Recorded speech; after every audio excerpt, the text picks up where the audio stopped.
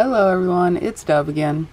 So I just wanted to let everybody know that I have a Rumble channel and it is called Freedom Love Dove. And I had to do this. Actually I already had a Rumble channel you know. I just I had an account with them so that I could make comments and hit the like button on videos and stuff. But I had never actually uploaded anything until recently.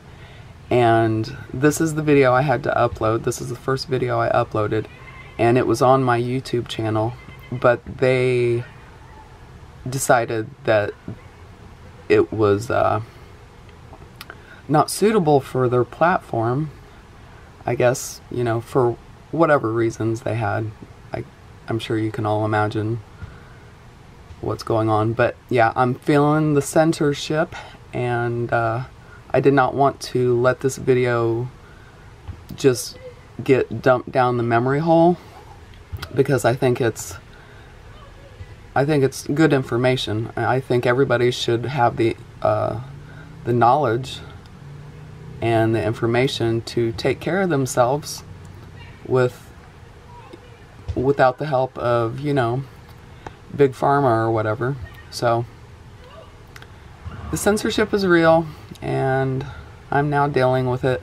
I had to rewrite the whole description, you know, pretty much from memory because they they deleted everything and it took away the description that I had already written and everything. So it is what it is. So I'm going to leave a link for this video down in the description box.